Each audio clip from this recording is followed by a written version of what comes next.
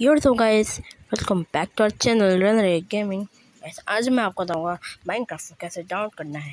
Guys पहले आपको Chrome browser में चले जाना है। ये मैंने क्रोम ब्राउज़र ऑन कर लिया। फिर आपको सर्च मारना है माइनक्राफ्ट रुको गाइस पर इसको मिटाने दो।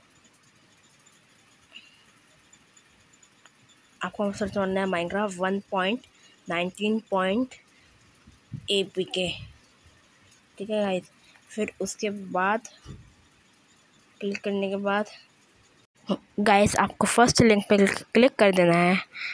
उसके बाद आपको डाउनलोड में क्लिक कर देना है। गाइस अगर आपको ये लिंक नहीं मिलेगी तो मैं डिस्क्रिप्शन में दे दूँगा शायद से। फिर आपको दस सेकंड रुक जाना है। दस सेकंड में रुकने के बाद बीच में डाउनलोड का वो आ जाएगा बटन वो डाउनलोड कर लेना। फिर डाउनलोड होने लग जाएगा। यहाँ पर डाउनलोड हो रहा है।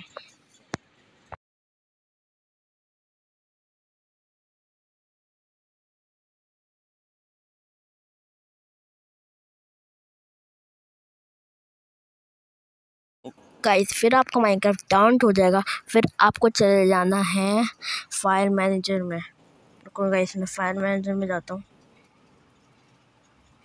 गाइस फ़ाइल मैनेजर में आ चुके हैं। फिर वहाँ पर आपको ए पी का करके लिखा हुआ आ रहा होगा, उसमें क्लिक कर देना है। फिर उसके बाद माइक्रोफ पर क्लिक करके डाउनलोड कर देना है। गाइस मैं डाउनलोड इसलिए नहीं होगा क्योंकि मेरे फ़ोन में पहले से डाउनलोड